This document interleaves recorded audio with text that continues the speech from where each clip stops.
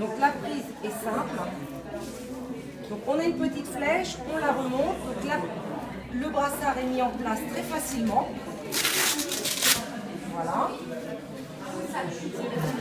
Et là, vous appuyez sur marche et la tension va se prendre toute seule. Voilà.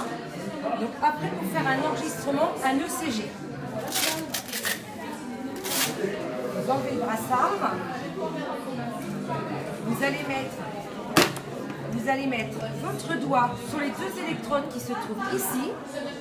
Vous allez appuyer, voilà. L'appareil doit toujours être éteint. Je me permets, il faut juste vous soulever un tout petit peu votre t-shirt.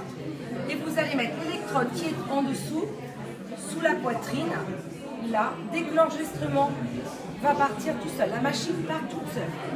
Donc là, ça va nous permettre de faire un enregistrement de 30 secondes.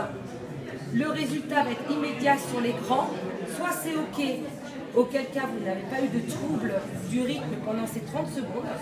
Si nous avons un trouble de rythme, vous allez avoir un petit picto où là on va pouvoir imprimer, envoyer ces données sur le vérograde.fr, sur le logiciel gratuit.